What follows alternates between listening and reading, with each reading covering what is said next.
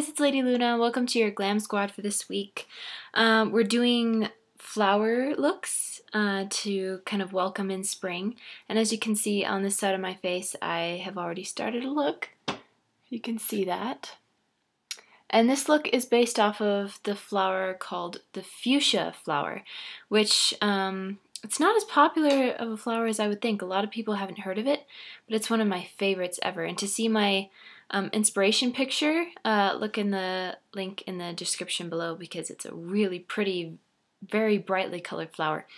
Now before I start this, um, I should say uh, I usually don't do um, talky kind of tutorials, but I feel like um, I'm gonna do them more often. So if you guys if you guys like me doing that as opposed to just the the kind of um, sped up type of videos, then let me know.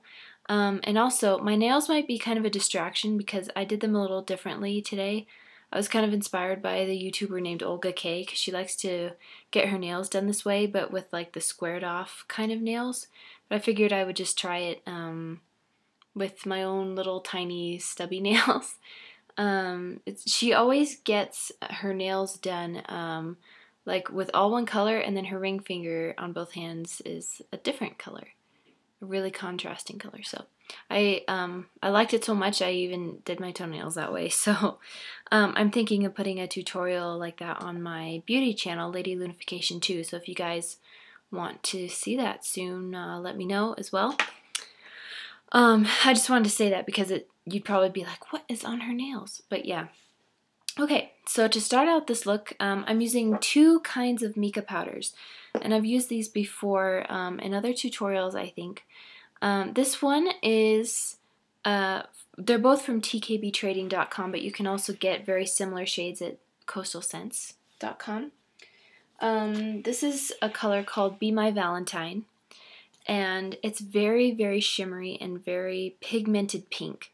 Um, I don't have a really bright fuchsia color per se like my phone, but this actually goes on very, very pink. It's hard to tell with this light, but it really works well. So what you're going to do is I have this little e.l.f. Uh, shader brush, and just going to get some on the brush and cover your whole lid. What I had to do with this is kind of um, to get that high intensity, um, I had to just keep going over it a little bit so it looks more like the flower, like that. So you just cover your whole lid.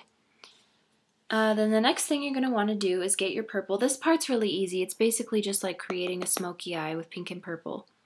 So you get your purple color with the same brush and uh, you just kind of blend it.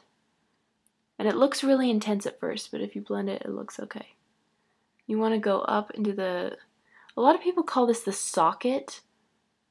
I kind of like calling it the socket because that's what it is. Okay, now I'm just taking my uh, e.l.f. black eyeliner and uh, just make sure it's really nice and sharpened because what you're doing kind of requires it to have a fine line. So the first thing we're going to do is kind of make a cat eye. And just line the top. I'm not lining the bottom.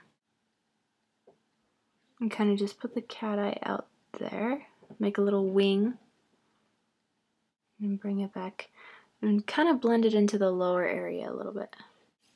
Okay, so there's the wing, as you can see.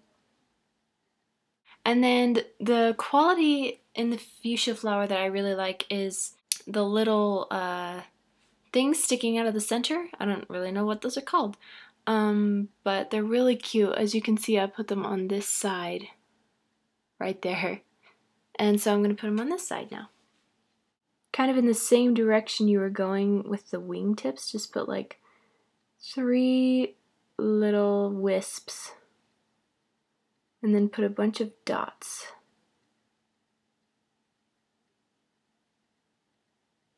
Like that. And there you go. That's the fuchsia look. Um, and of course, put on some mascara. I'm using um, a really lengthening mascara because I feel like on this look, it's it's more important to have the length of your lashes be kind of dramatic rather than the uh, volume of your lashes.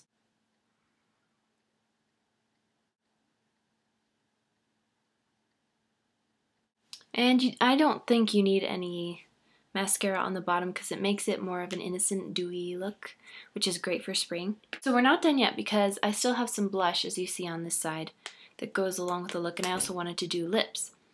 Uh, so this color is also from tkbtrading.com but as you can see it says it's not for eyes um, which kind of bummed me out when I got it but that means it will make a great blush because it's safe for cosmetic use just not on the eyes. So um, this is called Pearl Pink, if you didn't see that. Uh, mica powder is great because it doesn't irritate your skin. At least, I mean, I heard that some people have an allergy to it, which would be really sad because I love it a lot. But for those of you who aren't allergic to it, it's natural and it's perfect for your skin. It doesn't have a whole bunch of preservatives and additives in it either. So I'm using my uh, little angle brush so a lot of people make this mistake of putting their blush right on the apples of their cheeks and that can actually age you, I've found. So what I like to do now, not only to highlight my cheekbones, but just like make my face look overall brighter, um, is you still smile and you just bring it down along the top, like the tippy top of your cheekbone. And this is just to highlight. You can still get a little bit on the edge of the apple of your cheek, but not here. This is the bad area. So, right there. And you can blend it in with your fingers if you need to. As you can see that that automatically brightens my face a little bit. So the last thing we're going to do is use a lip color that kind of ties in the whole look. So using the mica powder, I know that's kind of the theme of this whole thing, but it's natural like flowers, I guess. So um, all I did was I took this same color, the Pearl Pink, and I used it as a lip color as well because it's safe on the lips not the eyes. So um, all I did was take some petroleum jelly and mix it with the the um, pearl pink color. I almost forgot. And I have this really, really bright, light uh, lip color. All I'm going to do is use my pinky finger. And it glides on nicely. It's very, as you can see, it's very pigmented, so you only need a little bit that you spread out. And as you can see, that kind of reflects the whole look now. It kind of reflects all the pink and purple and stuff. So, all right, guys, that's my fuchsia look. I hope you liked it. Um, feel free to comment and tell me what you liked, what you didn't like. Um, if you want me to do a tutorial about my nails on my main channel, uh, or my main beauty channel. And if you like me talking through my my tutorials rather than doing a sped up um, kind of portrayal of what I'm doing. So, uh, yeah, I'll talk to you guys later. Bye!